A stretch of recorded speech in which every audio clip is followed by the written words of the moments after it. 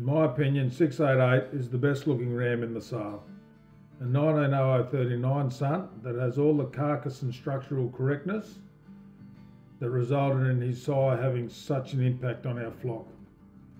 While he's a broader micron ram, his white and soft wool means he would be right at home in any environment.